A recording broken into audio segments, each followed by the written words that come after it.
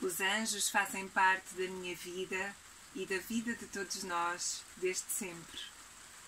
Trata-se de energias de luz que se podem manifestar em forma de anjos, pontos de luz a piscar, nuvens brancas, borboletas, cheiro a flores e a incensos, mesmo sem existirem flores ou incensos por perto.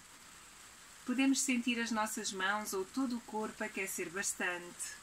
Podemos reparar constantemente nas horas iguais, como 10 e 10, 11 e 11, 12 e 12, etc. Nos mesmos números nas matrículas dos carros e até nos talões de compras do supermercado, por exemplo.